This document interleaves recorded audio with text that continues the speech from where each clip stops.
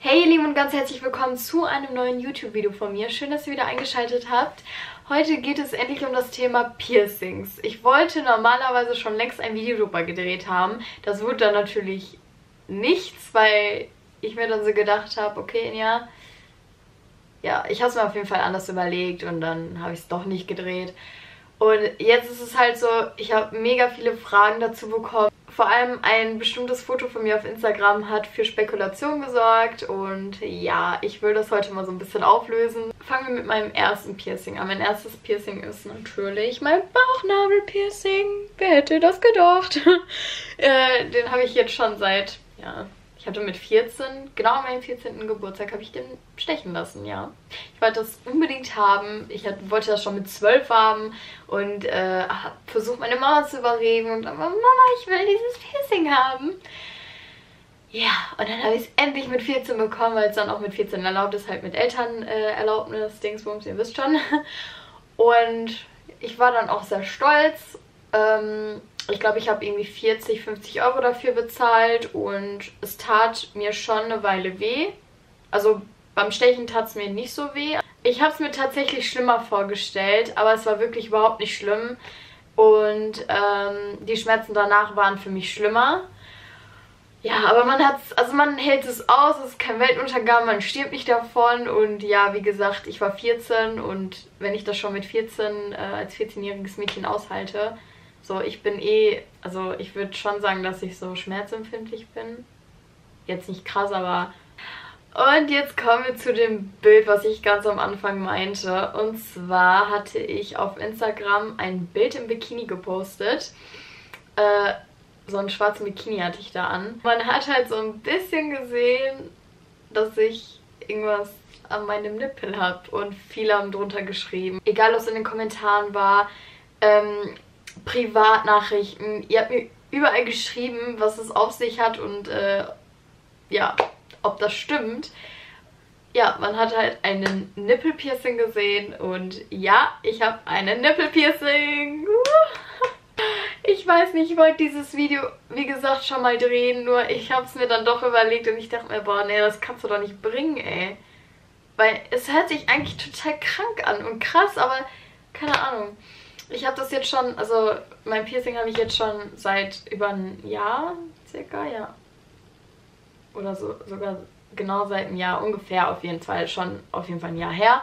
Und ähm, ja, ich hatte natürlich Angst. Ich wollte es, also ich fand es immer schön. Ich habe es immer auf Instagram gesehen bei anderen Mädchen. Und ich dachte mir so, boah, das sieht so schön aus, ich will auch. Aber ich dachte mir so, oh mein Gott, das tut doch so weh, wie, wie soll ich das denn aushalten? Ich gesagt, das mache ich auf gar keinen Fall, weil, da, ich weiß nicht, ich habe mir schon, oh, das tut doch weh. Äh, deswegen dachte ich mir, geil, scheiß drauf, ähm, ich mache es halt nicht. Und dann war ich 18 und man darf es halt nur mit 18 machen. Und dann habe ich mir so überlegt und ich habe da so die Bilder gesehen. Ich dachte mir, boah, Enya, jetzt bist du 18. Erstens, jetzt darfst du es machen. Zweitens, du findest das total toll und willst es einfach selber gerne haben. So. Und ich weiß, dass ich es in einem Jahr oder zwei Jahren immer noch haben will. Ich meine, Piercing kann man immer noch rausnehmen. Es wächst zu und gut ist. So, das wird man nicht sehen. Und dann wollte ich eigentlich nur zum Piercer, um zu gucken, was es da so für Piercings gibt. Und ich war so, oh Gott, die sind so schön. Und ich habe dann so mit der Piercerin gesprochen und sie meinte so, ey, du brauchst gar keine Angst haben. So, hier kommen auch andere junge Mädels hin, die wollen es haben und machen es auch. So einmal zack und fertig. Und ich dachte mir so, scheiße, ey. Und dann dachte ich mir, egal, ich mache das einfach. Scheiß auf alles, ich werde schon nicht sterben. Äh, dieser Schmerz ist es mir wert, dass ich dieses Piercing habe. Ja, dann war es soweit. Oh Gott, Leute, ich hatte so Schiss. Ich saß da und ich dachte mir so, ouch, das wird so wehtun. Das war, ich weiß nicht, ich hatte so ein äh, Kuscheltier in der Hand und ich habe mich so festgedrückt, weil ich so Angst hatte einfach. Weil ich dachte mir, oh, diese Schmerzen, ich habe die schon gespürt, obwohl es noch nicht mal durchgestochen war. Oh Gott, ich bin fast in Ohnmacht gefallen, echt. Und sie meinte dann, okay, hol jetzt ganz tief Luft. Und sie hat mich veräppelt, damit ich das nicht so, also damit ich mich halt nicht so darauf fixiere, oh, die sticht jetzt, oh, wann sticht sie so? Und genau wo ich dann eingeatmet habe, hat sie direkt durchgestochen. Und dann war es auch direkt vorbei. Leute, kein Scherz jetzt. es hat mir überhaupt nicht so weh getan, wie ich mir das vorgestellt habe. Also das war nicht wirklich, also es war halt schon Pieksen, ist klar. Aber es war halt so, so komisch irgendwie, so ganz komisch, weiß nicht, so wie so ein Fremdkörper. So, ihr Lieben, sorry für die kurze Unterbrechung. Ich musste meine Kamera aufladen. Ich weiß nicht wieso, aber irgendwie, wenn ich sie auflade, hält sie trotzdem irgendwie nicht lange. Auch wenn sie komplett voll aufgeladen ist. Also wo sind wir stehen geblieben? Ach ja, genau. Ähm, ja, der Stich tat halt schon weh, aber halt so, ich weiß nicht, ganz anders irgendwie. Also es tat nicht so richtig weh. Also ich kann es nicht beschreiben.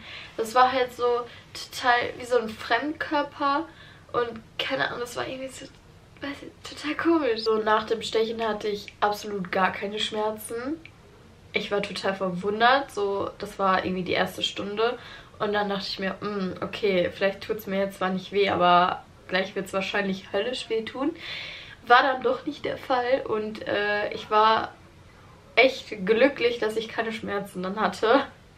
Habe es dann auch jeden Tag ähm, sauber gemacht, damit sich das halt nicht entzündet und ähm, ja, da bildet sich halt erstmal Kruste und alles. Ja, ich bin auf jeden Fall zufrieden damit. Jetzt kommt die Krönung. Ich hatte das Piercing so circa, lass mich nicht lügen, drei Monate und dann ähm, habe ich die Kugel verloren. Und ich habe mich natürlich total geärgert, weil ich dachte mir, okay, wo zum Teufel soll ich jetzt eine Kugel herbekommen? Und ja, das war dann, glaube ich, sogar mitten auf Tour. Das, also das hieß, dass ich überhaupt nicht weg konnte. Und ich so, scheiße, was mache ich jetzt? Und ich war auch total traurig, weil ich wollte nicht, dass das äh, zuwächst. Und dann habe ich halt versucht, das Piercing trotzdem drinnen zu lassen. Aber war ja auch klar, dass es dann irgendwann rausfällt, wenn da keine Kugel ist. Ja, und dann ist es mir auch natürlich rausgefallen. Es ist dann rausgefallen. Es war abends. Ich konnte nichts machen. Ich war... Oh, ich war total traurig und dachte mir so, scheiße. Ich wollte dieses Piercing die ganze Zeit schon haben, habe es jetzt nicht mal lange und jetzt wächst es wahrscheinlich zu. Und ich habe so ein bisschen die Hoffnung gehabt, dass ich, ähm, also dass es am nächsten Tag noch nicht so zugewachsen ist. Also natürlich wächst es zu, aber trotzdem habe ich dann eben gedacht, oh, vielleicht kann man das ja nochmal, ne? Und äh, dann habe ich das auch am nächsten Tag, wollte ich es erst versuchen. Ja, total doof. Ich weiß, macht es bloß niemals nach. Ähm, ich wollte einfach nur das Piercing zurückhaben und dann keine Ahnung, warum ich mir das dann, warum ich das machen wollte. Ähm, ich wollte tatsächlich mit einer Nadel durchstechen. Habe ich aber nicht gemacht. Ich dachte mir dann, okay, Enya, äh, übertreib jetzt nicht, geh lieber zum Piercer. Ja, und habe dann am äh, selben Tag dann einen Termin gemacht beim Piercer und konnte auch direkt dahin. Ja, und die Piercerin sagte mir dann, es ist zugewachsen. Und dann dachte ich mir, okay, scheiße. Ja, dann blieb mir halt entweder die Möglichkeit, nicht mehr dieses Piercing stechen zu lassen oder es nochmal durchstechen lassen. Aber sie meinte zu mir, dass es extrem weh tut. Gesagt, nee, das hat mir beim ersten Mal überhaupt nicht wehgetan und so. Ich halte das schon aus. Es war für mich nicht schlimm und so. Also ich würde das ein zweites Mal auch machen. Es wird deshalb mehr wehtun, weil es ist ja eine Narbe. Das heißt, die Haut ist halt fest und wenn man dann da durchsticht, ist ja klar, es tut dann halt schon weh. Und ich dachte mir so, ach Quatsch und so. Ja, und dann haben wir geguckt, dann hat sie gesagt, okay, dann guckt sie sich die andere Brust an. Das ging dann nicht, weil da eine Ader war. Und da konnte sie dann nicht durchstechen. Ja, und dann blieb mir halt nur die Wahl. Entweder ich lasse es oder ich mache es jetzt. Und ich dachte mir so, na, so schlimm kann das schon nicht sein. Ja, und dann äh, habe ich gesagt, okay, ich mache es jetzt einfach. Da, wo ich es auch vorher hatte, und Leute, ohne Witz, es tat so höllisch weh. Und ehrlich jetzt, ich würde es nicht nochmal machen. Ich würde es nicht nochmal durchstechen lassen. Auf gar keinen Fall. Das tat so weh boah, ich dachte mir, das kann nicht wahr sein. Auch danach tat es ziemlich weh. So. Aber naja, ich war auf jeden Fall wieder glücklich, dass ich wieder mein Piercing habe. Ja, das war meine Piercing-Story. Ähm, sonst habe ich keine mehr. Ich würde mir wahrscheinlich noch ein Helix hier stechen lassen, weil ich das ganz schön finde. Aber mal schauen. Ich habe gehört, das soll auch sehr wehtun. Aber wie gesagt, jetzt erstmal nicht. Vielleicht irgendwann mal, vielleicht aber auch gar nicht. Und ja, ich bin auf jeden Fall zufrieden und ich liebe meine Piercings. Ich hoffe, das Video hat euch gefallen und ich wünsche euch einen super schönen Tag und wir sehen uns im nächsten Video.